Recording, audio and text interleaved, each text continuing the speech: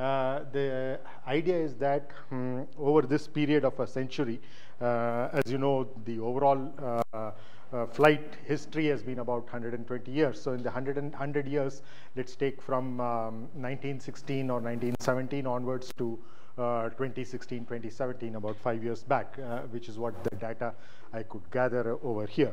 Uh, maybe some other sources would have even more later data. But uh, you can generally see the trend, what is happening is that, as we already saw, uh, uh, compared to the 1910s and 1920s aircraft, we are flying much faster, we are flying a longer distance, we are flying with more passengers, so heavier aircraft.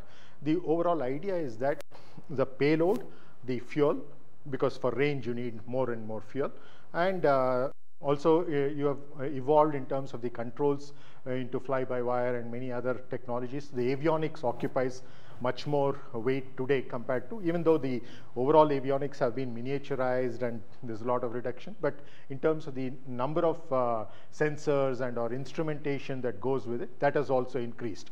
So to, um, if you think of the overall aircraft maximum takeoff weight as 100%, you are essentially distributing between these various things.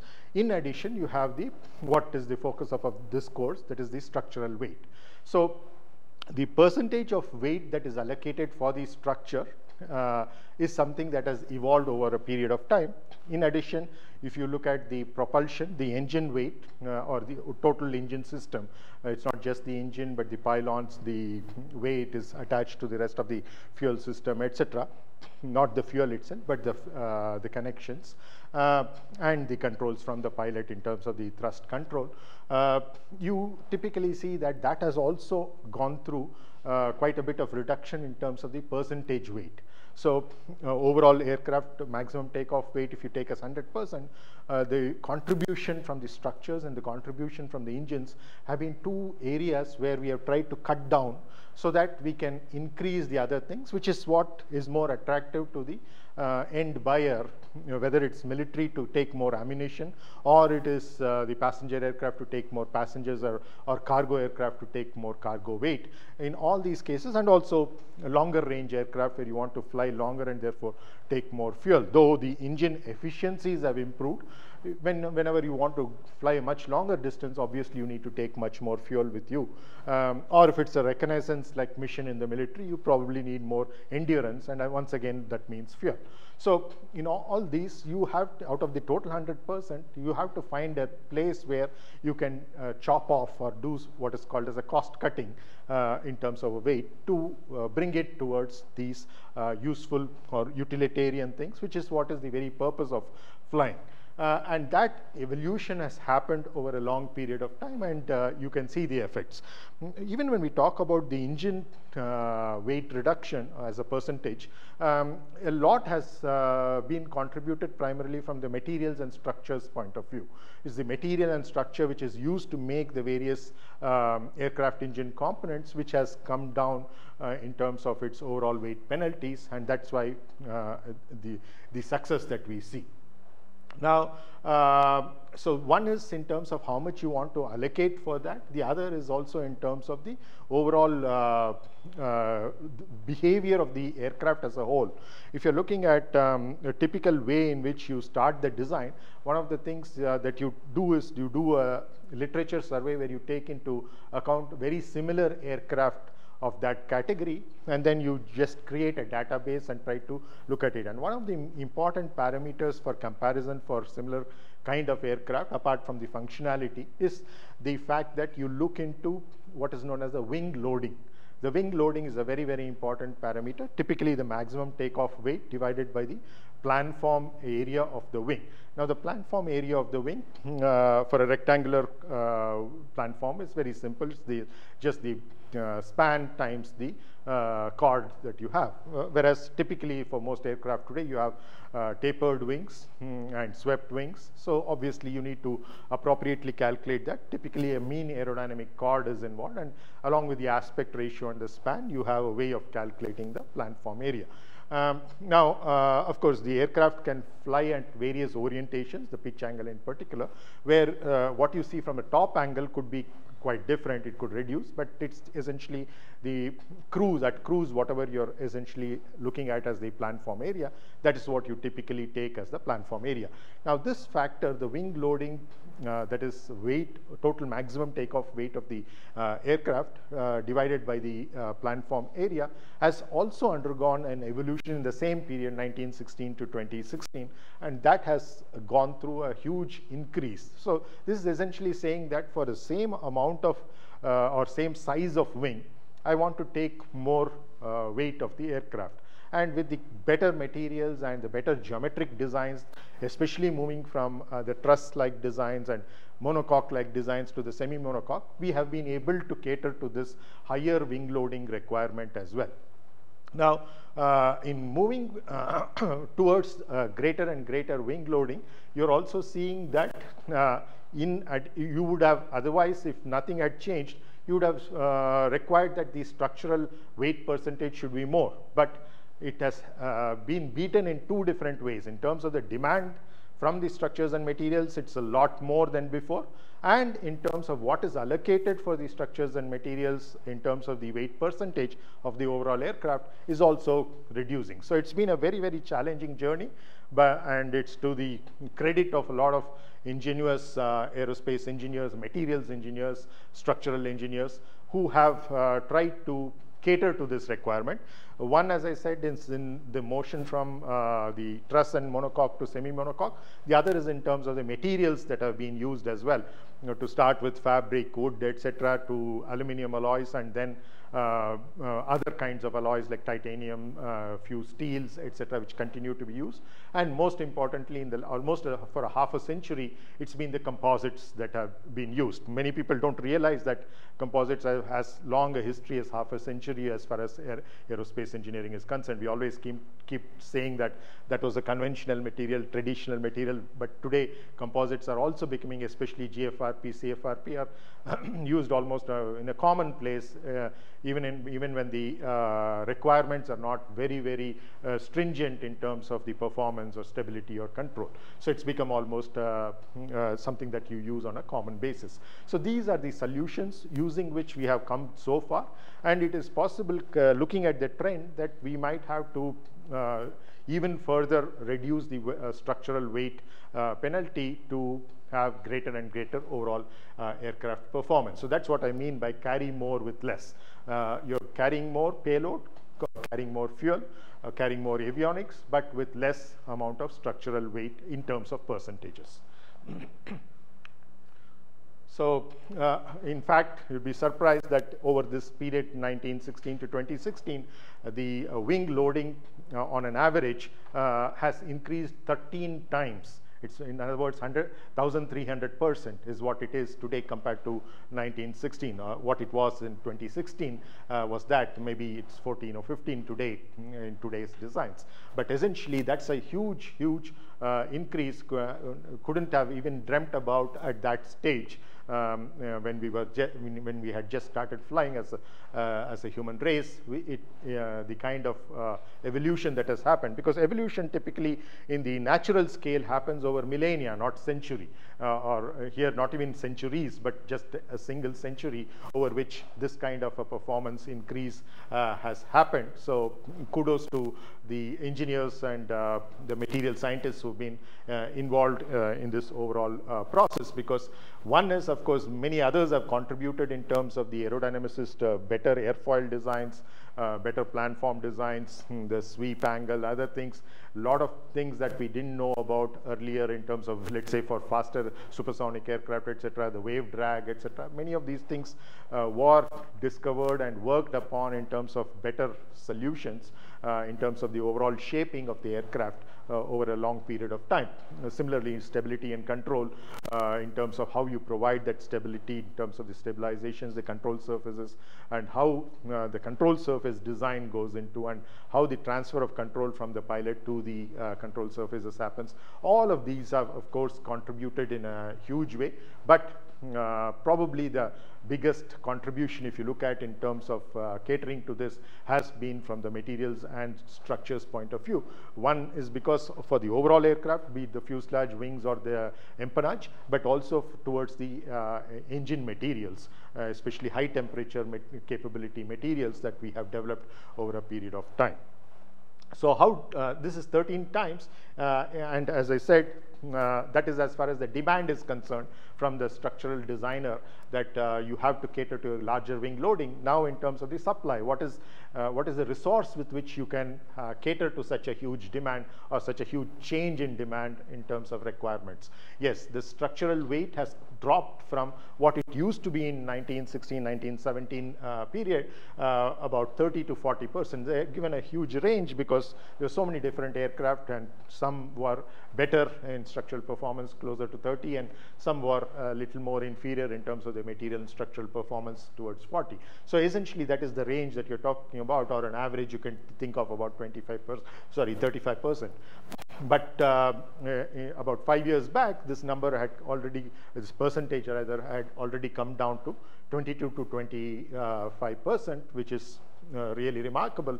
And uh, as I said, I don't have data for the last five years, but uh, uh based on the kind of trends, especially in the more recent times we have seen, uh, I wouldn't be surprised if it's, it's, of the order of 20% now. That's essentially, you're saying that one-fifth of the aircraft weight is the structural uh, weight, the materials which go into load bearing that is offer certain strength, stiffness, stability for the overall aircraft to uh, remain integral, uh, the integrity of the aircraft structural integrity has to be maintained with that small an amount, which essentially means why also indicates how the performance uh, in terms of ranges and speeds and uh, payload capabilities have uh, increased tremendously. So a pat on the backs for the structural engineers involved. The, um, as I said, the material uh, is one thing, the structural design in terms of uh, not only moving to semi-monocoque constructions, but also in terms of the shaping that you have. Uh, because if you look at after even after the material or materials uh, more specifically have been selected for various structural uh, uh, components, uh, next thing you have to do is the shaping, the sizing, uh, the spacing of these because between one stringer to another or between one uh, rib to another, uh, pictures of which we saw in the cutaways last time, has to be decided. So all of these have to be accounted for um, and uh, that is, is not purely material design alone.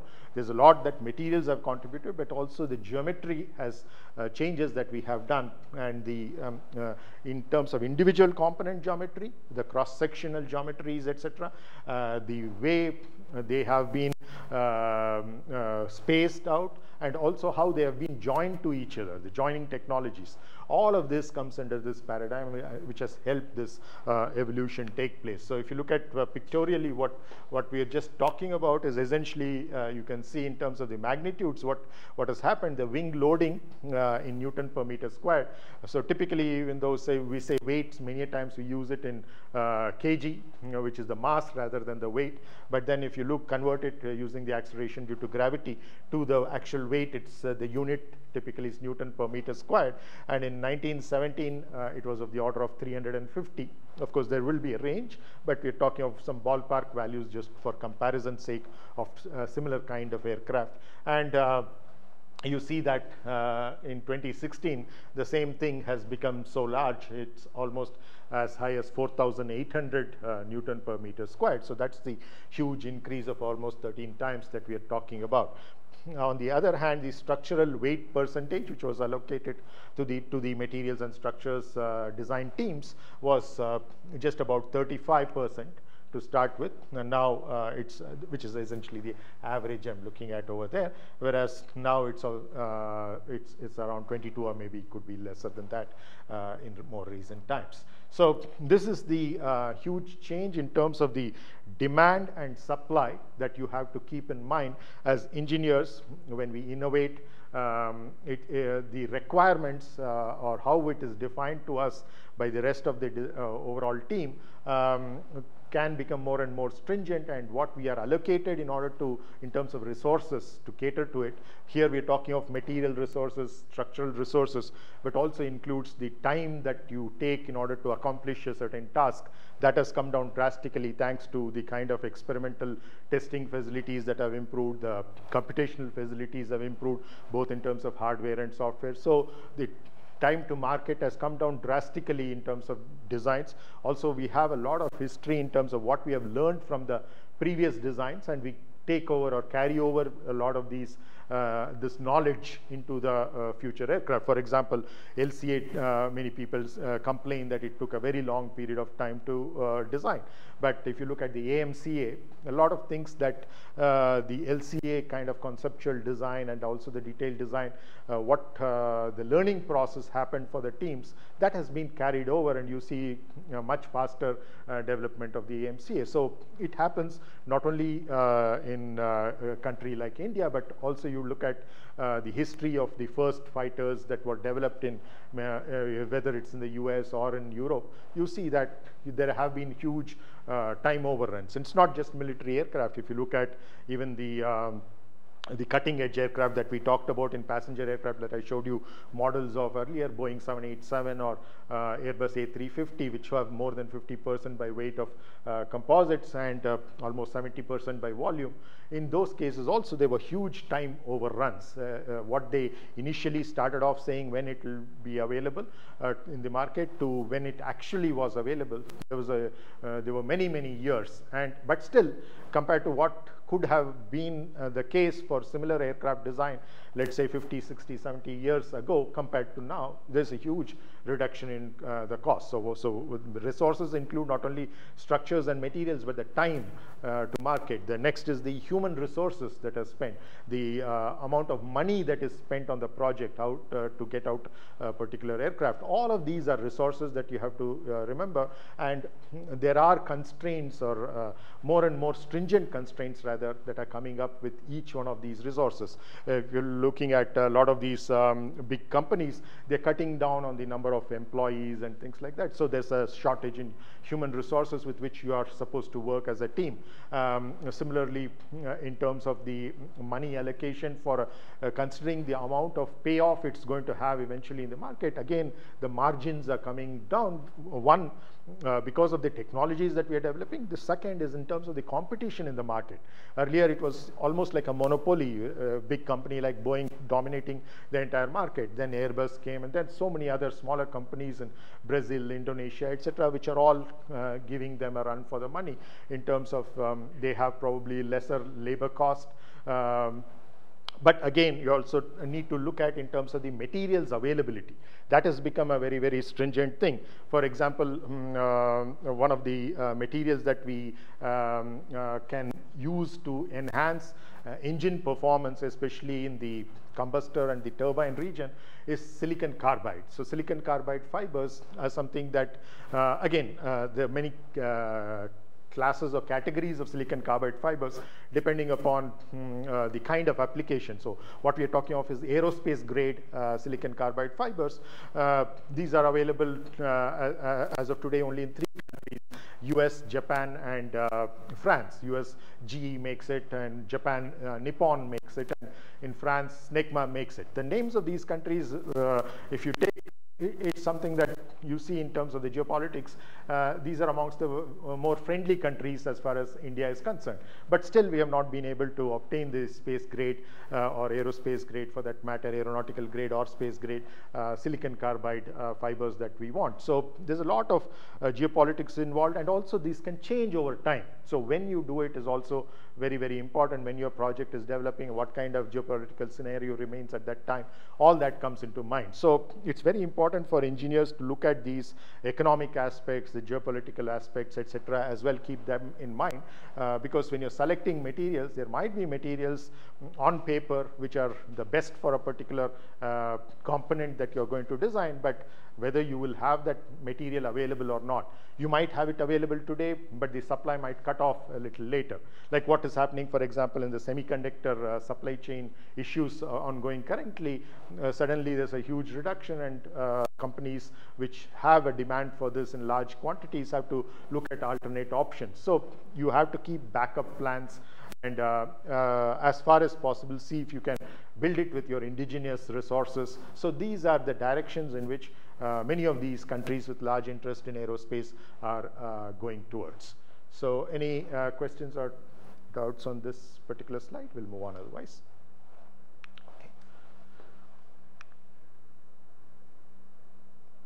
Yeah, before um, I go to the next slide, mm, uh, there's also a meeting that we have this afternoon in terms of uh, revamping the uh, curriculum. This is happening in all the four divisions, but um, I'm involved primarily with the structures curriculum. So in terms of the uh, kind of courses that you have, uh, of course, this is a core course.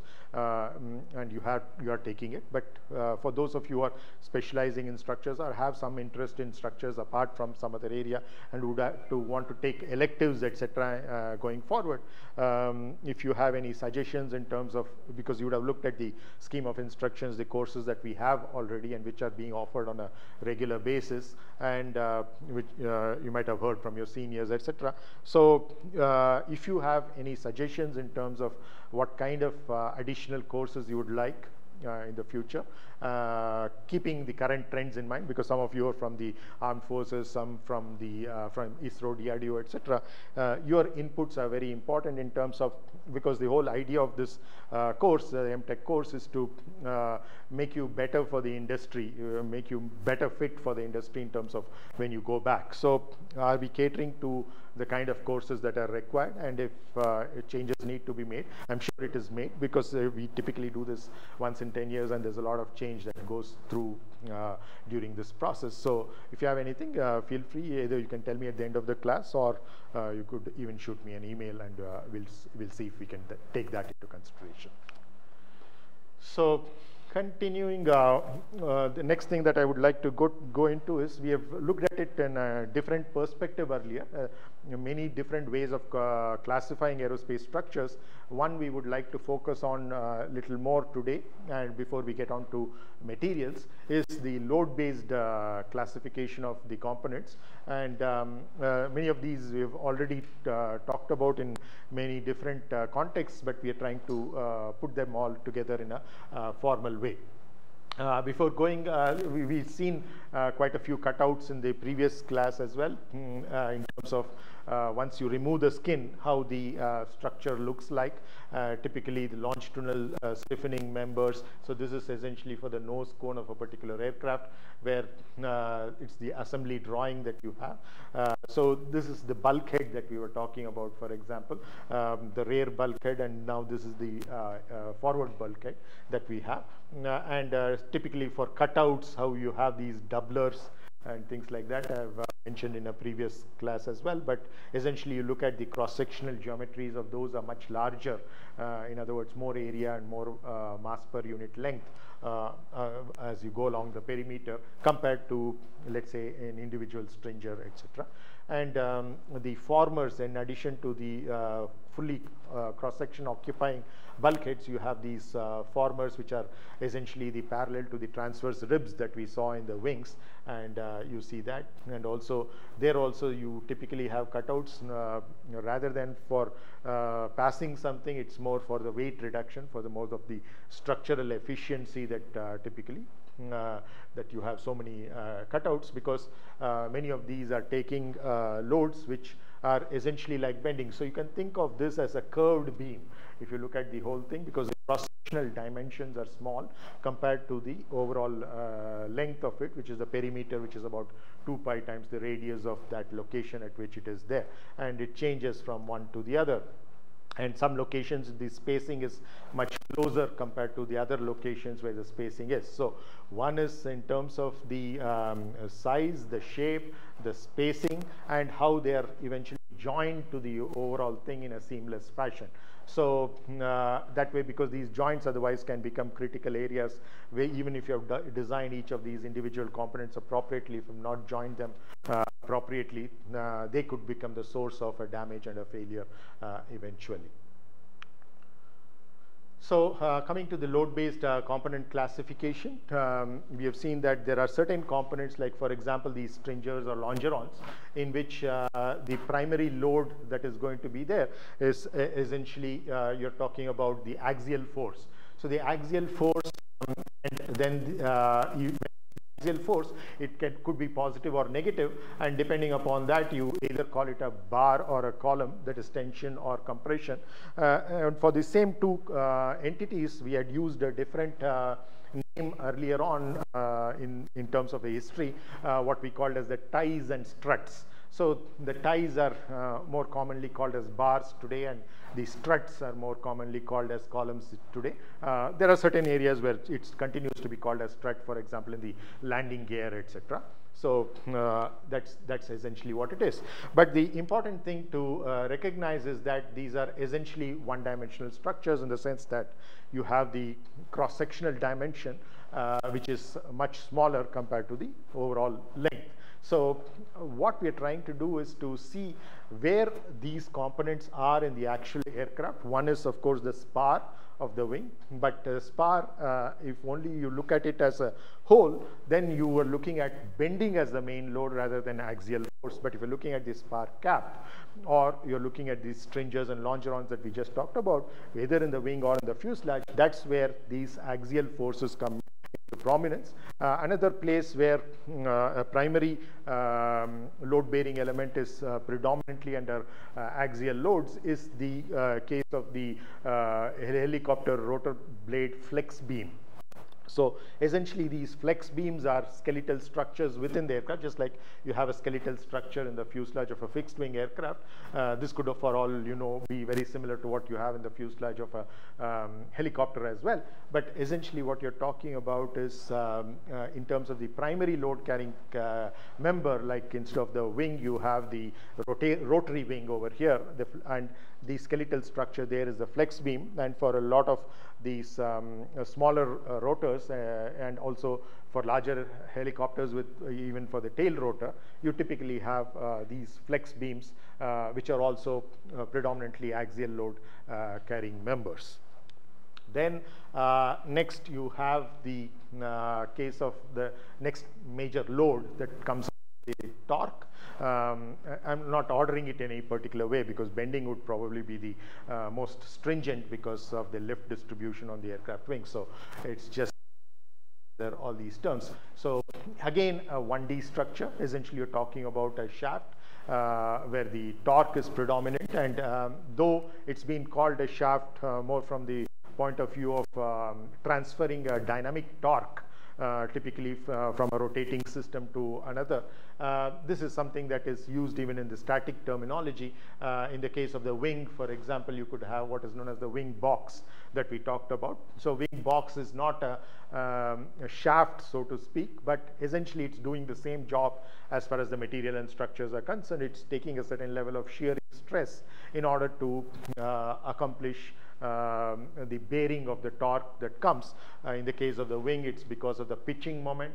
It's also because of the moment arm that the uh, concentrated forces have, namely the um, engine weight, the uh, engine thrust, uh, compared to where uh, the center of twist is and then also other things that you can have in an, a military aircraft like the ammunition uh, etc so from all of those you typically have these loads coming in which could uh, be off center in a sense uh, therefore causing this torque and you have to be able to handle that uh, torque. Essentially again this is a one-dimensional structure and in particular in the uh, wing this is formed as we saw in the previous class uh, uh, by the skin on the top, the skin at the bottom and the webs of the front spar and the rear spar or if there are multiple spars all of them as well. So this essentially forms a box uh, in other words a closed cross section which is thin walled and therefore very efficient in taking torsion may not be as efficient as a circular cross section, but um, the requirement there is that you can't uh,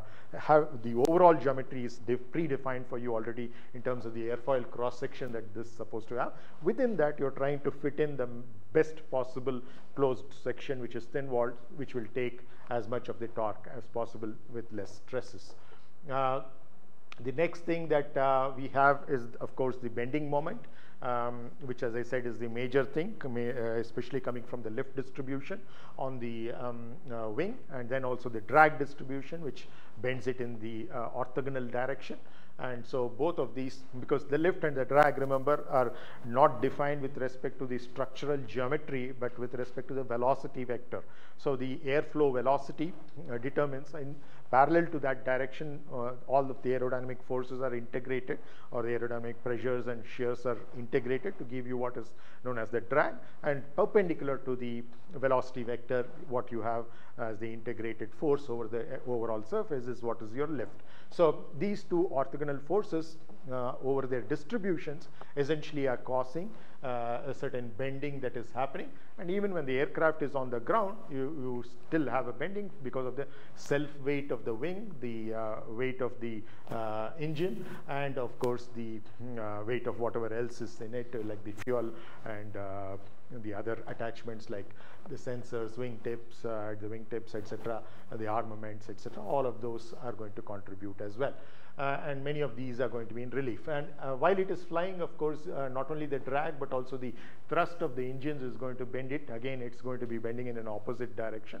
So you have to take that into account as well. And of course, it's a concentrated load, unlike the drag distributions, which is throughout. So up from the wingtip up to this point, you will have just the bending due to the drag, which means that it is bending in the other direction.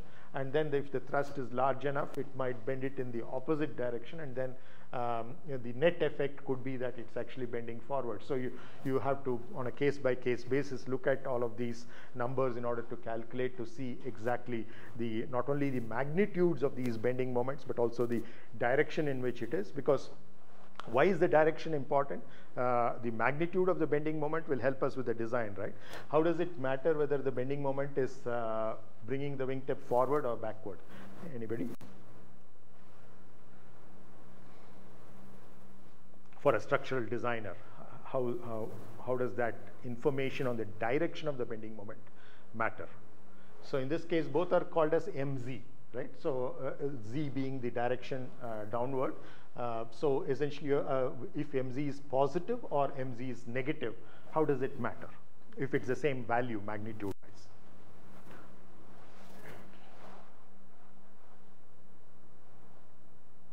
What uh, difference does it make to a structural designer in terms of the decision making?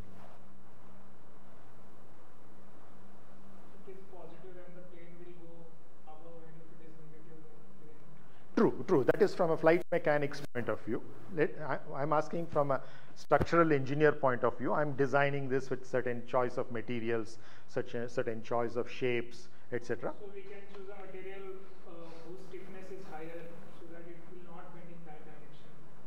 yeah, that we will anyway do, but whether it is um, M is positive or negative. M. Excellent. Yeah. So that's the point.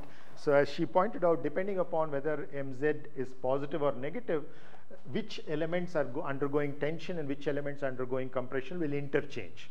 So for example, if it's the bending moment is in this direction, you know that the rear spar is undergoing uh, compression because of that. Of course, we're just talking of drag over here. It's the same uh, with the lift as well. I'm just using this for illustration.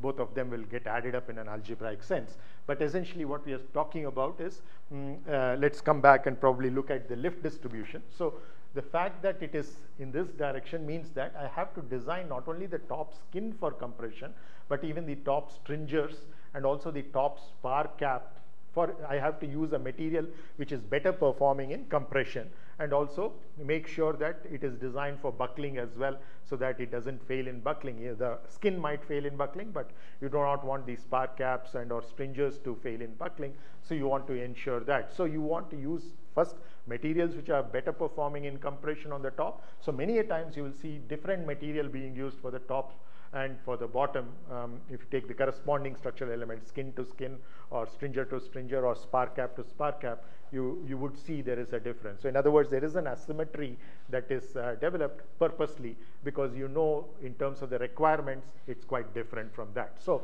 it's not just the magnitude of uh, any moment, uh, mz is what we were talking about, but the other uh, moment is essentially mx which is the bending, because X is the axis typically on the aircraft, you draw along the um, zero lift line uh, passing through the nose. Uh, so uh, the moment about that is what is caused by the lift distribution and that mx uh, also it changes whether the aircraft is on the ground or whether it's in the air flying in the air or it's doing certain uh, maneuvers especially for acrobatic aircraft and or certain military aircraft when you have negative load factors going on. So you have to make sure that it's taken care of there as well. So just because uh, for the dominant uh, situation the top is under compression the bottom is under tension if i don't design the bottom for uh, compression you could be in trouble sometimes. So you have to take that entire range into account that mm, uh, typically you would see that uh, compression dominated design for the top and uh, tension dominated design for the bottom but there will also be a certain range of compression uh, at the uh, bottom and uh, the tension at the top that you have to design these structural components for. So um, you have to take all the extreme cases and make sure that all of these requirements are taken care of. So that's as far as the bending moment uh, is concerned. So the common thing that you see, and typically these are called as beams in uh, typical uh, literature and also the um, kind of community, the terminology that they use. But whether it is a bar or column or a shaft or a beam or a wing box as we saw in this particular case, uh, all of them are essentially one-dimensional structures because their cross-sectional dimension is small compared to the length. And therefore, uh, what, what is the current trend in the industry is to not treat them individually as separate uh, structural components, bring in a common paradigm to treat all of them using a so-called 1D model, uh, which will take care of not only each of those uh, individually, but also the couplings that can happen between them. Because first of all, right from the airfoil cross section, you can have an asymmetry because of the camber that you need, uh, especially in the wing. And uh, once you have that asymmetry in geometry, then you have, as we just talked about, the kind of materials that you use on the top and the bottom. There's a material asymmetry which goes. And then in terms of the cross sections of these stringers and etc that you're using on the top and the bottom there could be an asymmetry that is coming so asymmetry is coming because of many many different reasons and all of this uh, and course you're using instead of metals which are isotropic you're using anisotropic composites. They, they bring in their own material couplings. So geometric and material couplings would mean that when there is an axial force yes the load might be just one, but in terms of the response of the structure, it may not just extend, but it might also twist, it might also get curved. Uh, all these things can happen as a secondary effect, and you have to uh, have a model which takes care of all that. Similarly, when there is a torque, once again, there could be an extension, there is a possibility of the bending, etc. So, and again, bending moment itself is in two different directions, two different orthogonal directions, and many cases people are aware that these two are coupled with each other in terms of the curvature, uh, especially for um, structural cross sections which are not doubly symmetric. So then you have to take that into account as well because there's a non-zero product uh, moment of inertia that is associated even in the simplest model that you can uh, think of. But we can develop a more involved 1D model which will take care of each one of these direct effects, indirect effects due to coupling and also so-called nonlinear effects because even though the material itself might still be operating in a so-called linear elastic regime, in other words, the stress-strain uh, relationship at 3D level remains uh, linear, at the 1D level, when you're talking about the stiffness matrix, it is essentially what you call as EA in this case, or a GJ in this case, or a EI2 and EI3 in this case. All of those things might change because your, even though the material probably remains okay, in E doesn't change or G doesn't change, but your A, the cross-sectional area can change because of the Poisson's effect. Your uh, J can change, undergo a small change. Your uh, I2 and I3 and also I23, uh, which is essentially the product moment of inertia, those all can undergo small changes, which means that there is a certain nonlinearity even when the material is linearly elastic because of the geometry and this is particularly true with the thin walled geometries that uh, we are dealing with over here. They undergo much more deformations within the cross section and that can bring about quite a large, large change because remember that even though 1.5 might look large compared to the factors of safety that we have in many other engineering applications, this is quite stringent. And so in other words, we are stretching the limits uh, as far as the material performance is concerned. We are uh, not very close to the uh, failure limits, but we are operating uh, at fairly large stress levels. And also for the cover skin, in fact, we are allowing it to uh, geometrically fail, though materially it still uh, doesn't fail uh, through the elastic instabilities that we are allowing it to have. So in other words, the strains and stresses that are involved could be stretching the limits and therefore we have to make sure that those nonlinearities are also taken into account. And when there is nonlinearity, as we already discussed earlier, you can't uh, treat each one of them separately and uh, think that later on I will put them all together. Principle of superposition doesn't work over there and therefore you have to ground up, develop a common model for the so-called one-dimensional structures. And there are four primary loads that you're going to deal with always. Uh, we will denote this by F1 because it's along the X1 direction. Uh, we will denote this by M1 because it's a moment about the uh, X1 direction once again. And uh, similarly, you are going to be dealing with this as uh, M2 and M3, which are about the X2 and X3 directions. So these four forces, uh, we call, even though these are moments, we will call it as forces in a generalized sense. Like when we say generalized displacement, it includes rotations as well. When we say generalized forces, it includes not only forces, but the moments as well. Now, uh, typically, you know, for a rigid body, uh, you typically have, uh, if it's a 3D rigid body, you have six degrees of freedom, the three translations and the three rotations. But here, we are actually talking about, about only four uh, quantities. In other words, there are three moments which are associated with the three rotations, namely M1, M2, and M3. But here you're talking only of an F1, you're not talking of an F2 and F3. This is a very, very important thing to remember because the F2 and F3, remember, are essentially your transverse shears. Okay, and we already discussed this, whether it's a plate where we are talking about the stresses in the thickness direction or in the beam where you're talking about the uh, shear stresses within the cross section, these are high, typically higher order effects compared to the other stresses that are there. For example, the uh, lift and the drag and the thrust will cause much larger sigma 1 1 that is along the x1 direction that's the normal stress compared to sigma 1 2 uh, in this direction or a sigma 1 3 in this direction. So those are there it's not non-zero but those are higher order effects. So when we uh, derive this uh, using the current state of the art math and physics, it so happens that in terms of the contribution to the energy, uh, because remember that uh, in reality all of these are 3D, but we are modeling it as 1D, which means there's a dimensional reduction going on of two levels from 3 to 3D to 1D, 3 minus 1 is 2. So two levels of dimensional reduction that you're doing. And when you do this in an, uh, with the rigorous math and physics that is involved, you will see that automatically your, the effects of F2 and F3 will drop off. And therefore, you will have this effect. Does it mean that we are not able to take into account those failures that could happen because of F2, F3, etc.? No, because this is as far as the overall working of the model is concerned. But there is what is known as so-called recovery, where once the model has been solved for, you can go and get back all those transverse stresses as well, the transverse strain distributions, all the deformations which are happening out of that. So purely based on the mathematics without making assumptions, as long as your cross-sectional dimension is small compared to the length, automatically your F2 and F3 will drop out of the system and you will have only one of the forces and essentially a beam model will, have, will be a four degree of freedom system as far as the cross section is concerned. But along the length, of course, it still remains a continuous body. So any continuous body will have infinite degrees of freedom. Now we are talking only of a cross section. Remember, we are shrinking that cross section, which is of a finite area, to a zero area point.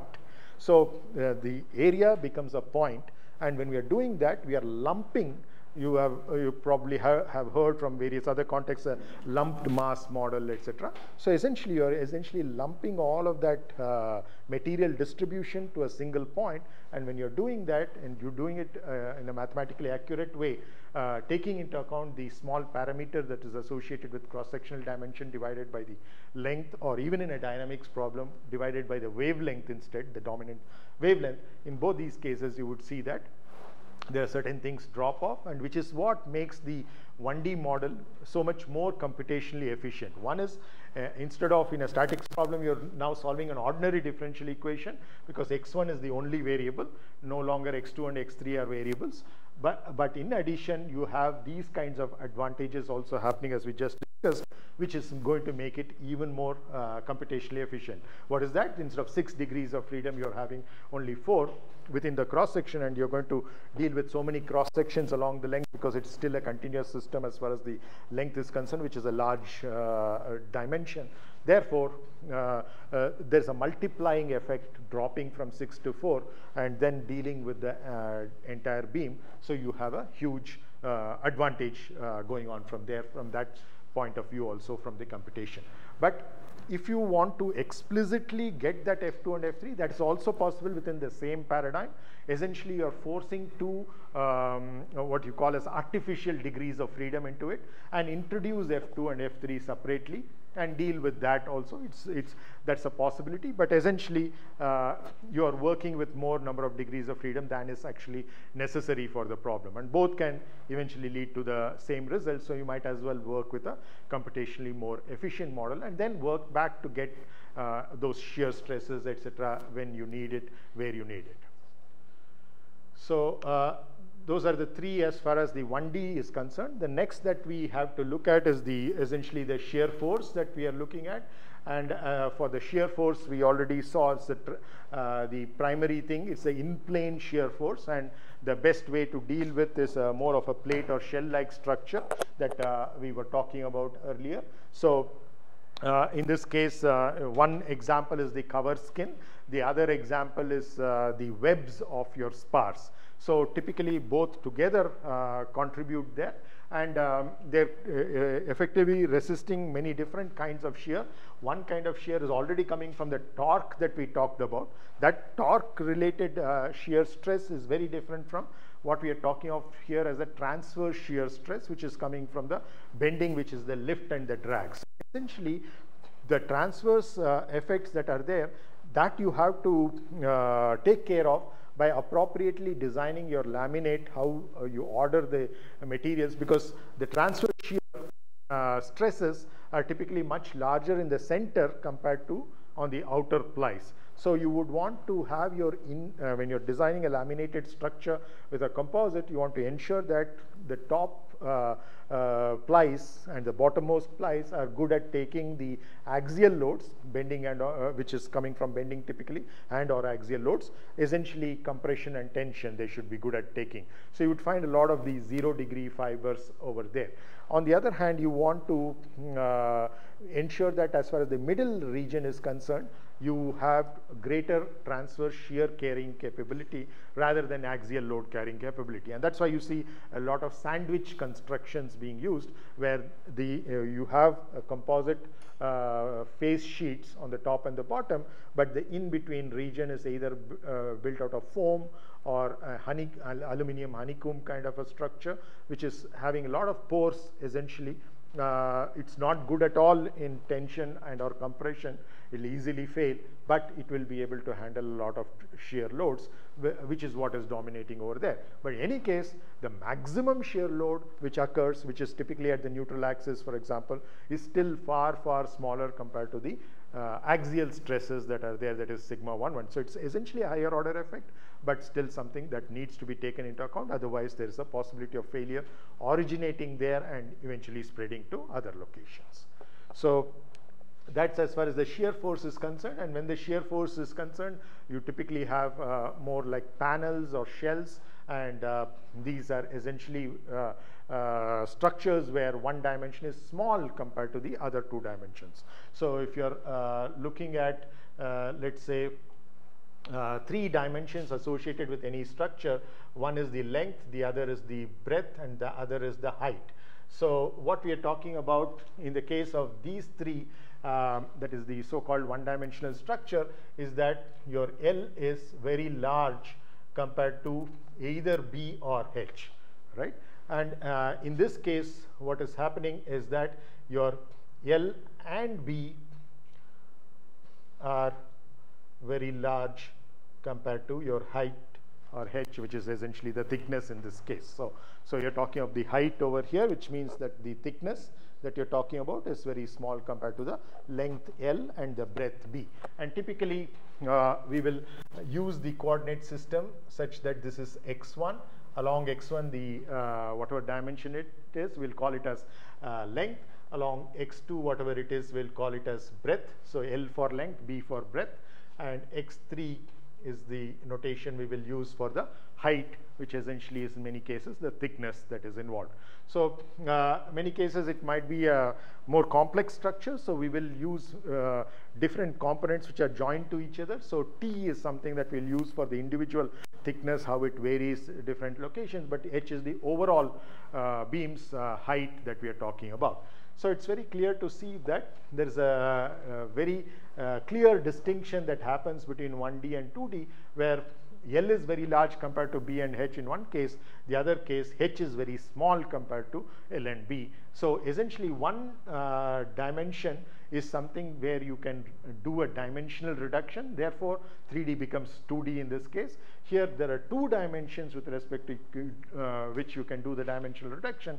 Therefore, there's a, a, a two levels of dimensional reduction from 3D to 1D that is happening over here. Now, uh, can you think of examples where, uh, of course, all structures are three-dimensional, and uh, there are certain structures which can be modeled as 1D because of this reason, length being very large compared to breadth and uh, the height. There are certain other uh, kind of geometries where the length and breadth are very large compared to the height, therefore you can deal with as 2D. But all of these structures in reality are 3D and therefore 3D modeling is definitely possible and probably the best that you can get in terms of the accuracy levels. But if you have done the dimensional reduction properly, the, uh, the drop in accuracy would be of the order of 1% or so, which is something that you can live with. So that being the case, uh, can you think of examples where a structure, of course, all structures can be considered as 3D. Certain can be considered apart from 3D as 1D. Certain others can be considered as 3, uh, 2D apart from 3D. Are there structures that you can think of which you can consider as 3D, 2D as well as 1D based on this uh, division that we have talked about, the definition that we have talked about?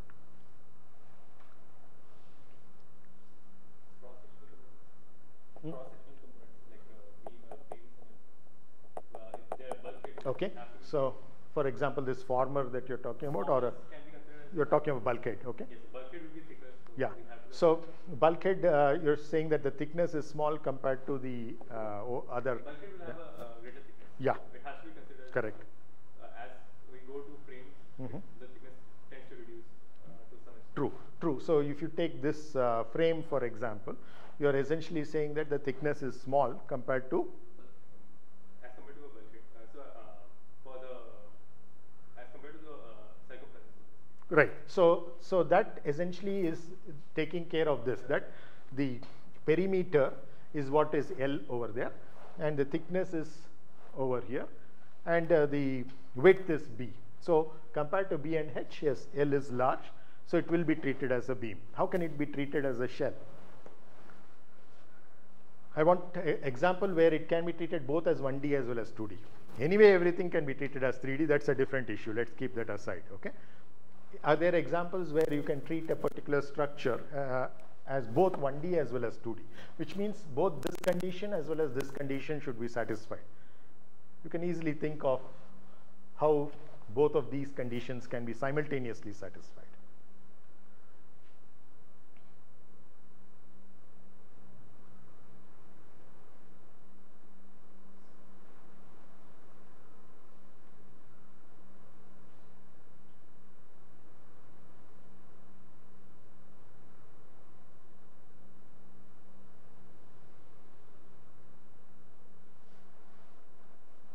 the example that you pointed out is right, but the reasoning has to come using this. Okay? The skin of the uh, fuselage or any, any skin. Okay. Yes, the skin has a thickness or height which is very small compared to length and breadth. But how is the other one? that you can reduce the, like example it is a circle.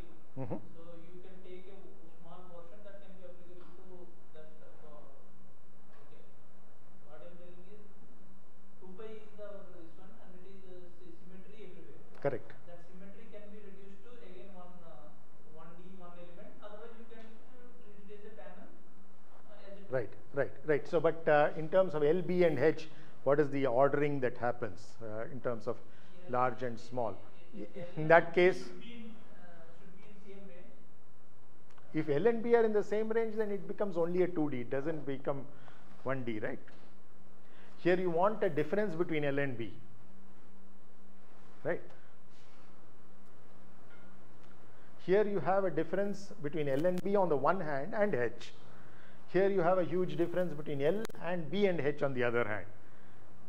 So how do you order these in such a way that there is a difference between all three is what you want.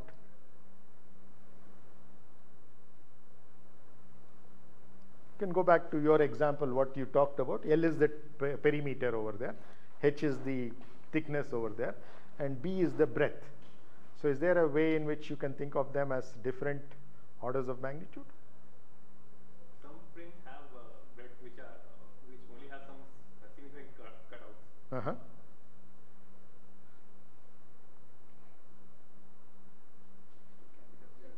Or go back to your example where you talked about a skin, where you're thinking of uh, spacing it in such a way that your anyway for the skin the height is small. The height by height I mean the thickness because I am using this terminology h for it.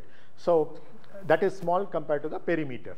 But th- these are only two dimensions that you have talked about, which is the thickness and the perimeter. There's a third dimension associated with every structure, right? What is that third dimension there?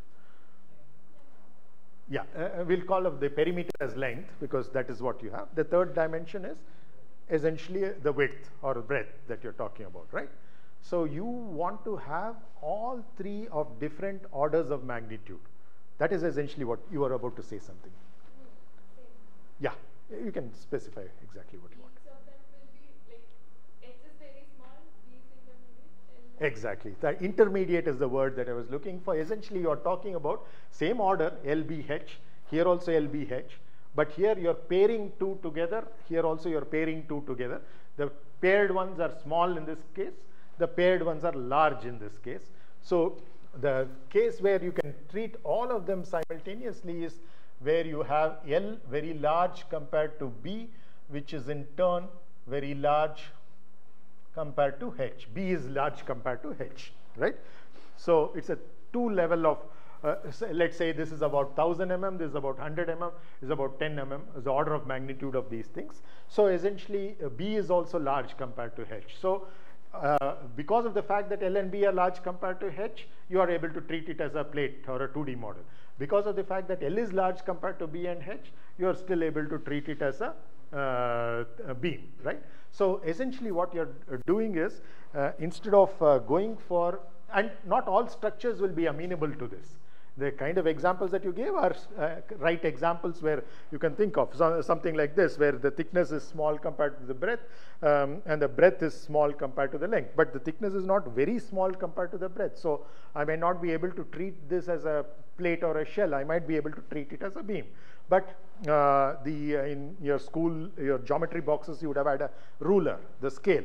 So that's essentially very thin compared to its width and uh, the width is small compared to its length. So that's a classic case where you can treat it. In aerospace structures, we were just referring to it in a different context uh, a few minutes back, is the flex beam of a helicopter rotor blade, which is a thin rectangular cross section.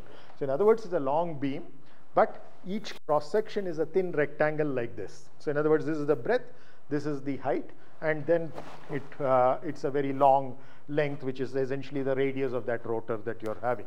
So in that case, the cross section, if, if it's a thin rectangle that you have, what you typically call as a strip.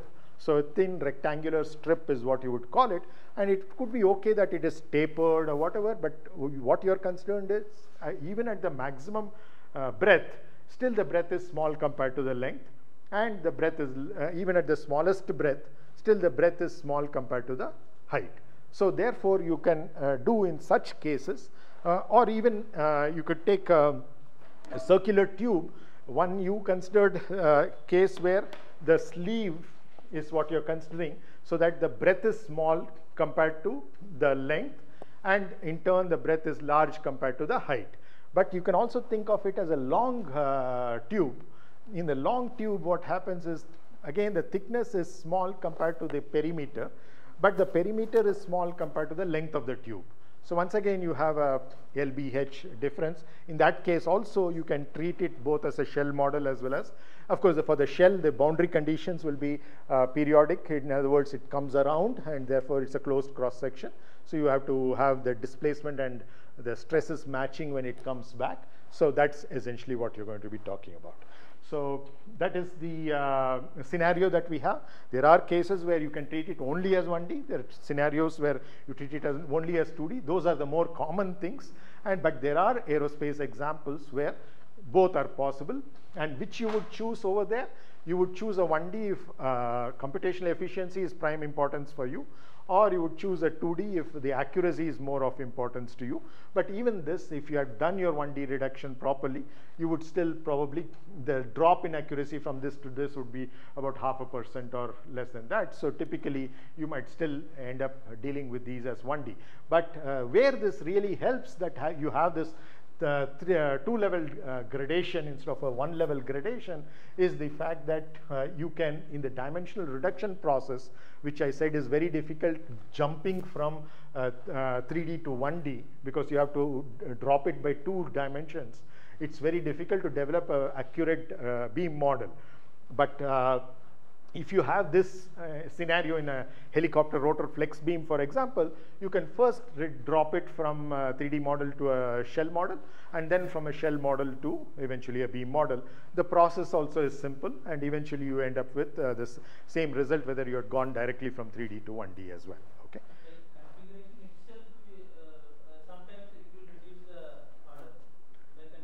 Correct. Eh, see, it, it, always has to be by the configuration because you want the problem definition to dictate your assumptions. You do not want to make any additional assumptions over and beyond the problem definitions. The problem uh, uh, defines your geometry for an analysis, for example, uh, or in a design, you're trying to move towards that geometry, but you know that that geometry that you want to move to still has some ordering of uh, dimensions in either in this fashion, this fashion or this fashion, one of these three. So uh, the configuration is what uh, uh defines and eventually uh, defines not only the model but also the end results. So because it's purely from the configuration that we are uh, deciphering these aspects. And what you consider as small is also important. Would you consider one tenth as small? Would you consider 120, 1 by 20 as small? What that depends upon the kind of accuracies that you're moving to and also how many steps of this uh, uh procedure you want to apply. Based on that, you have to decide what is a small parameter. So typical thumb, um, uh, thumb line or thumb mark you have is in terms of thumb rule rather, is that uh, one tenth is a reasonably small uh, quantity where from for engineering accuracy purpose. Even a one level or two level uh, derivation of the theory would be good enough uh, for your dimensionally, the, both, both of these, whether it's 1D or 2D, are called as dimensionally reduced theories because you have dimensionally reduced from 3D. And both of these will work very well as long as you have uh, this difference between the large quantity and small quantity of the order of 10. Okay, the ratio of them. Okay, thank you. So, uh, do any of you want to mention any courses or curricula